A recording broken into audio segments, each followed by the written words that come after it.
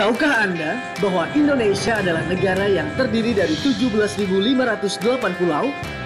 Indonesia berpenduduk 250 juta orang dengan 300 suku adat sejak merdeka pada tahun 1945, Indonesia telah berkembang menjadi negara dengan pertumbuhan ekonomi terpesat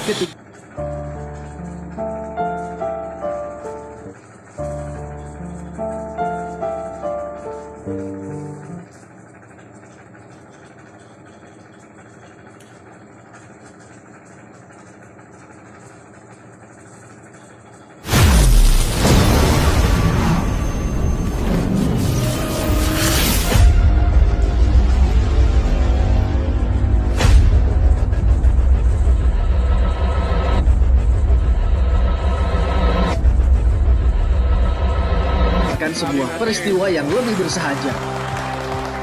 Di presiden pertama,